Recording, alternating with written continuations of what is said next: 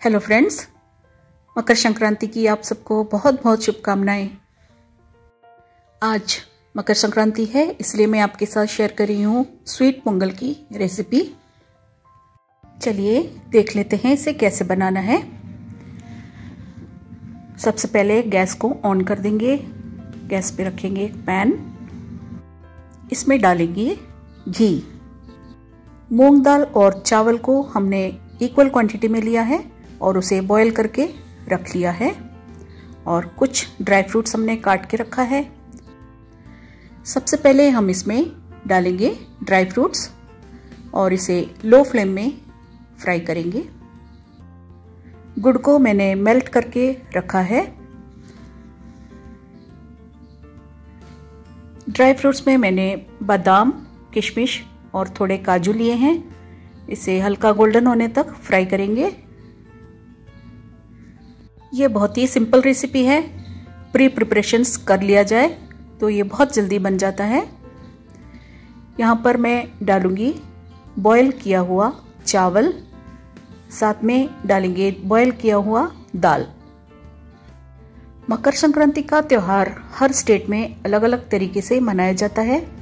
South में पोंगल बनाया जाता है और समुद्र स्नान का बहुत महत्व होता है। चलिए, अब इसमें डाल देते हैं मेल्ट किया हुआ गुड़ और इसे कर लेंगे अच्छे से मिक्स। गुड़ को हमेशा मेल्ट करके ही डालें, क्योंकि इसमें बहुत सारी इम्प्योरिटीज होती है तो मेल्ट करके इसे छान कर ही डालें। पोंगल कई तरह से बनाया जाता है। यहाँ पर मैं आपको सबसे आसान तरीका बता रही हूँ पोंगल बनाने का। चलिए ये मिक्स हो गया है। इसमें हम डाल देंगे रोस्ट किया हुआ तिल और साथ में डालेंगे इलायची का पाउडर और इसे कर लेंगे मिक्स तिल को आप ड्राई फ्रूट्स के साथ ही फ्राई कर सकते हैं, लेकिन मैंने यहाँ पर इसे ड्राई रोस्ट करके अलग से डाला है।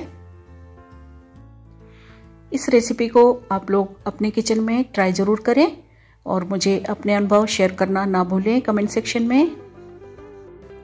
अगर आपको रेसिपी अच्छी लगी तो आप इसे अपने फ्रेंड्स एंड फैमिली के साथ शेयर ज़रूर करें। इस तरह से तैयार है पोंगल। चलिए इसे अब सर्व कर लेते हैं। मैंने इसे नैवेद्यम के लिए बनाया है तो मैं इसे केले के पत्ते में सर्व कर लूँगी और इसके ऊपर डाल देंगे थोड़ा सा घी।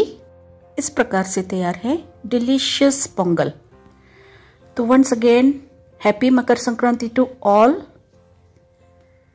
Take care. Thank you for watching this video.